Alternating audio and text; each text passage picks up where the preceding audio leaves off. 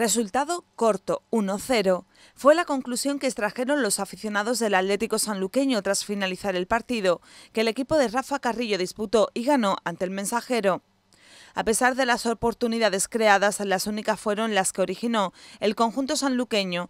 Todo se resolverá en tierras canarias. El conjunto verde y blanco estuvo mejor en la segunda parte. La primera la inició con ganas hasta el punto que llegó a embotellar al mensajero, que sin embargo demostraba tener un buen toque de balón. No fue ambicioso en ataque y se conformaba con el 0 a 0. En el minuto 15 llegó la primera oportunidad de peligro. Dani del Moral lanza un zapatazo y el portero se quita el balón como puede. En el 31 Magui y Adrián Gallardo no culminan un ataque en la típica acción que nadie remata, ni tampoco los rivales despejan el balón. Poco más hasta el descanso. Los dos porteros tuvieron poco trabajo, sobre todo el local. La segunda parte comienza con las fuerzas niveladas, pero poco a poco el Atlético sanluqueño convierte el partido en un monólogo. En el minuto 9, Dani del Moral le centra el balón a Adrián Gallardo y ese lo envía por encima del larguero. En el 13, Dani Guiza saca una falta con poco ángulo, pero estuvo a punto de sorprender al portero.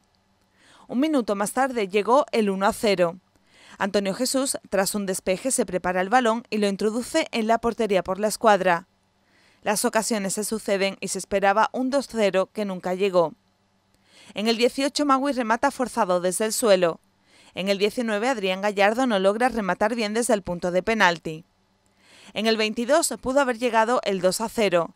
Guiza dispara con efecto y casi cuela el balón por la escuadra en una acción donde el portero del conjunto que dirige Robaina llega a impactar con el poste. En el 32, Dani del Moral centra el balón muy cerrado y el mismo se pasea por delante de la portería. Las únicas oportunidades eran del Atlético sanluqueño y a medida que pasaba el tiempo se veía como el mensajero estaba más justo de fuerzas. El conjunto sanluqueño puso el resto en el tramo final del encuentro.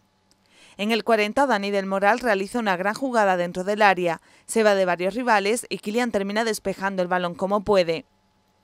En el 41, Ezequiel centra el balón y José y Pepe Luno logran rematar en una acción que terminó siendo invalidada por fuera de juego. Y en el 48, Ezequiel saca una falta y el balón es rematado de cabeza por José, se estrella en el larguero y ahí fue cuando acabó el partido. El Atlético sanluqueño viajará a Canarias con una renta de un gol de ventaja.